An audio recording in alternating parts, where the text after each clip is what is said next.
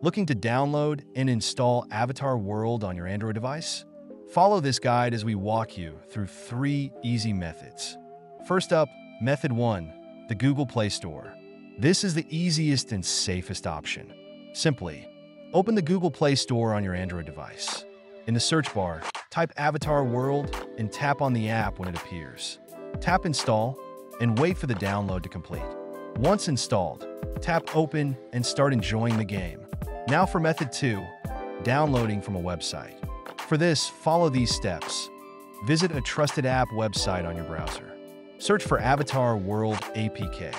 Download the APK file from a reliable source.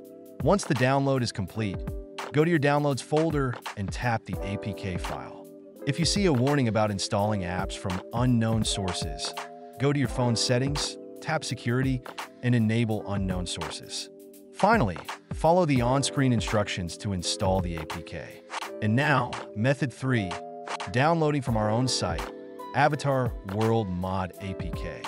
For this method, visit our website at your website link. Scroll down to find the Download Avatar World Mod APK button and click on it.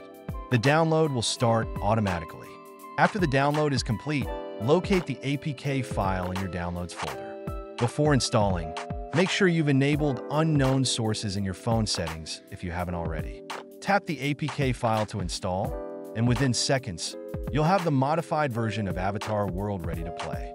Remember, always download APK files from trusted sources to keep your device safe. No matter which method you choose, we hope this guide made it easier for you to get Avatar World up and running on your Android device.